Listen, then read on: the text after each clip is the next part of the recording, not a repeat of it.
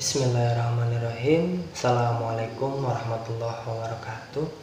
Di sini saya Muhammad Yusuf bersama sahabat saya yaitu Dini Ahmad Setiawan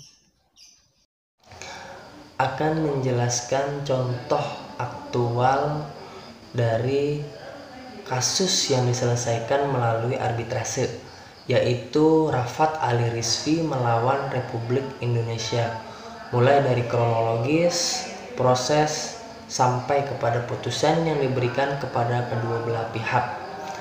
Berikut kronologisnya. Pada tanggal 5 April 2011 telah terjadi gugatan terhadap Republik Indonesia di ICSID atau center yang diajukan oleh Rafat Ali Rizvi sebagai investor asing yang berkewarganegaraan Inggris. Pada tanggal 6 April 2011, center berdasarkan pasal 4 dan pasal 5 Institution Rules mengirimkan salinan gugatan tersebut pada Indonesia sebagai negara penerima investor atau host state. Sengketa yang diajukan oleh Rafat didasarkan pada pelanggaran agreement between the government of the United Kingdom of Great Britain and Northern Ireland and the government of Republic of Indonesia for the promotion and protection investment. Rafa telah melakukan investasi di perusahaan Bahamas yang bernama Cingkara Capital Limited atau Cingkara yang berkedudukan di Indonesia. Perusahaan ini akhirnya berganti nama menjadi Gulf Asia Holdings Limited. Bersama-sama dengan MR Hesham Alwarok dan Rafat berstatus CEO owner dari Cingkara. Selanjutnya, Rafat melakukan pengalihan kepemilikan pada awal tahun 2000, Cingkara mulai menanamkan sahamnya pada tiga bank, yaitu Bank Piko dengan pembagian saham 65%. Yang kedua, PT Danpak, yaitu dengan pembagian saham 55%. Yang terakhir, PT Bank CIC dengan pembagian saham 19,8%. Pembagian saham tersebut dilakukan sebelum diadakan merger antar bank-bank tersebut Akhirnya, pada akhir tahun 2004, ketiga bank tersebut melakukan merger dan membentuk PT Bank Senturi. Penggugat mengajukan gugatannya karena ia merasa dirugikan oleh kebijakan pemerintah Indonesia yang mengucurkan bailout atau dana talangan Bank Senturi sebesar 6,7 triliun rupiah. Kebijakan ini mengakibatkan kerugian bagi penggugat sebagai penanam saham. Selain itu, menurut Rafat, investasi yang dilakukannya tersebut merupakan jenis investasi yang dilindungi oleh Undang-Undang Nomor 1 Tahun 1967 tentang penanaman modal asing. Akan tetapi, pernyataan berlawanan datang dari pemerintah Indonesia bahwa investasi yang dilakukan oleh Rafat bukan merupakan jenis investasi yang dijamin dalam Undang-Undang Penanaman Modal Asing. Berdasarkan pasal 36 ayat 3 Konvensi Washington dan berdasarkan pasal 6 ayat 1 huruf A dan pasal 7 huruf A Center bersengketa yang diajukan telah didaftarkan oleh Sekretaris Jenderal dengan nomor register nomor ARB garis miring 11 garis miring 13. Selanjutnya, Sekjen mengundang para pihak untuk menentukan para arbiter dalam sengketa tersebut. Pada tanggal 7 Juni 2011, Indonesia menyatakan bahwa tribunal akan dijalankan dengan menggunakan tiga arbitrator berdasarkan pasal 37 ayat 2 huruf B Konvensi Washington. Dengan setiap pihak menunjukkan satu arbiter dan terdapat ketua arbiter yang ditunjuk oleh kedua belah pihak berdasarkan perjanjian. Pada tanggal 2 Agustus 2011, Rafat sebagai penggugat menunjuk Hakim Joan Dogne dari Amerika Serikat dan menyarankan ditunjuk sebagai ketua. Kemudian pada tanggal 3 Agustus 2011, Indonesia sebagai tergugat menunjuk Profesor Sornajah dari Australia Selanjutnya pada tanggal 20 September 2011, tergugat menginformasikan center bahwa para pihak telah sepakat. Penggugat menyatakan persetujuan sehari sesudahnya, menunjuk Dr. Gavan Griff dari Australia sebagai ketua tribunal. Berdasarkan pasal 6 ICSID, pengadilan harus mempertimbangkan penunjukan tersebut terlebih dahulu. dan akhirnya memutuskan sidang arbitrase tersebut akan diadakan dengan komposisi arbiternya adalah hakim, profesor, dan doktor.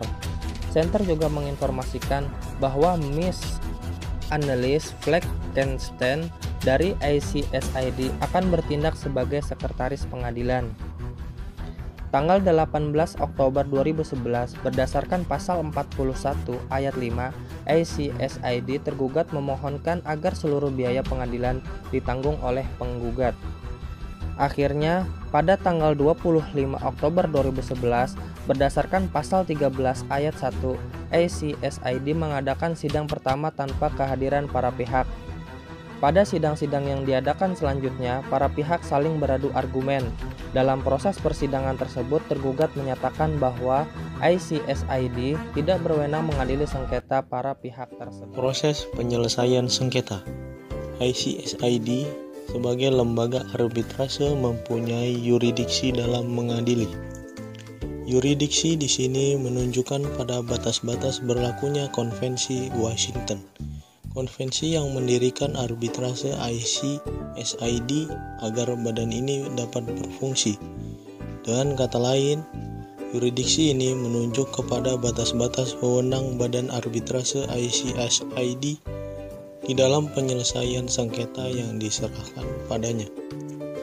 Dalam sejarah perkembangannya, semula yuridiksi suatu badan arbitrase ini ditentukan oleh pengadilan nasional. Namun, seiring dengan perkembangan zaman, maka negara-negara memberi kekuatan yang lebih besar kepada kekuatan berlakunya perjanjian-perjanjian arbitrase di dalamnya. Antara lain memberikan kewenangan yang lebih besar kepada badan arbitrase. Ketentuan ini dapat dilihat pada pasal 41 ayat 1 Konvensi ICSID bahwa the tribunal shall be the judge of its own competence. Artinya, hakim dapat menetapkan apakah persyaratan-persyaratan suatu sengketa yang diserahkan kepadanya itu telah memenuhi persyaratan konvensi dan apakah sengketa yang diserahkan itu berada di dalam kewenangannya. Tentang ketentuan yang mengatur yurisdiksi Badan Arbitrase ICSID ayat diatur di dalam pasal 25 Konvensi Washington. Menurut pasal ini, sedikitnya ada tiga pernyataan pokok yang harus dipenuhi oleh para pihak untuk dapat menggunakan sarana arbitrase badan ini di dalam menyelesaikan sengketa yang diberikan kepadanya. Adapun tiga persyaratan pokok tersebut adalah kata sepakat, ratione materiae, dan ratione personae. Pertama, harus ada kata sepakat dari para pihak untuk menyerahkan sengketanya kepada Badan Arbitrase ICSID. Di samping kata sepakat dari kedua belah pihak, yang salah satu pihak khususnya negara serta konvensi berdasarkan pasal 25 dapat memberitahukan kepada Badan Arbitrase ICSID sebelumnya tentang kewenangan badan ini terhadap kasus yang dihadapi negara tersebut. Kedua, yuridiksi ratione materiae.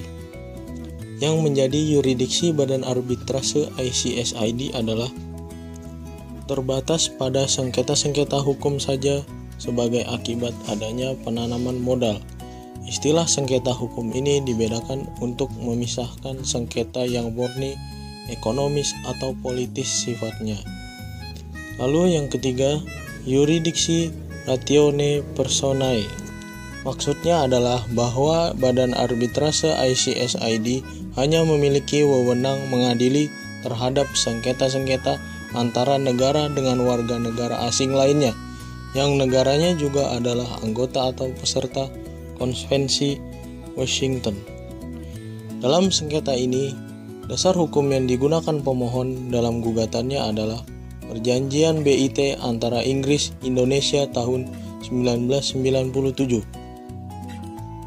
Selanjutnya, isu yang terangkat dalam persidangan adalah yang pertama, menurut tergugat, penanaman modal yang dilakukan oleh Rafat Ali bukan termasuk dalam pengertian penanaman modal sebagaimana yang dimaksud oleh UU Penanaman Modal Indonesia. Dan karena itu penanaman modal tersebut tidak dapat dilindungi hukum Indonesia dan tidak berhak untuk menuntut di hadapan Badan Arbitrase ICSID. Yang kedua, penanaman modal yang dilakukan penggugat tidak mendapatkan persetujuan dari BKPM atau Badan Koordinasi Penanaman Modal dan karena itu penanaman modal yang dilakukan Rafat Ali tidak mendapatkan perlindungan hukum berdasarkan perjanjian BIT. Perlindungan hukum yang dimaksud yaitu hak untuk mengajukan gugatan ke Badan Arbitrase ICSID dan berhak mendapatkan perlindungan menurut hukum ini. Pada tanggal 30 Agustus 2012, pemerintah mengajukan keberatan atas kewenangan Badan Arbitrase ICSID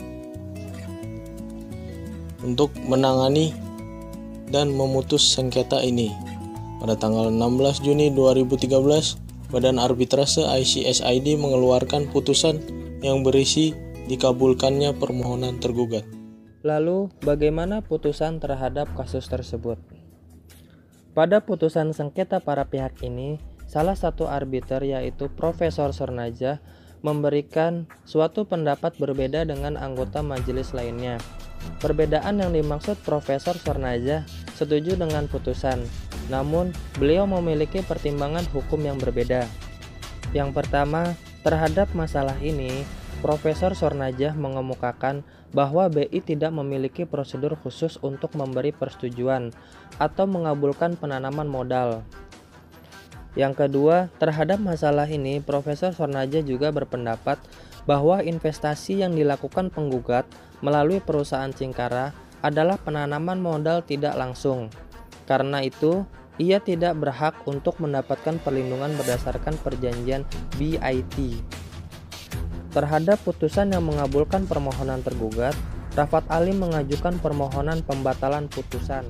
Berdasarkan putusan dari ICSID, maka penyelesaian sengketa kasus investasi tersebut dapat disimpulkan dalam dua hal, yaitu yang pertama, putusan ini menegaskan kembali bahwa penanaman modal yang mendapat perlindungan hukum di Indonesia adalah penanaman modal yang secara langsung dilakukan dalam menjalankan kegiatan usaha penanaman modal.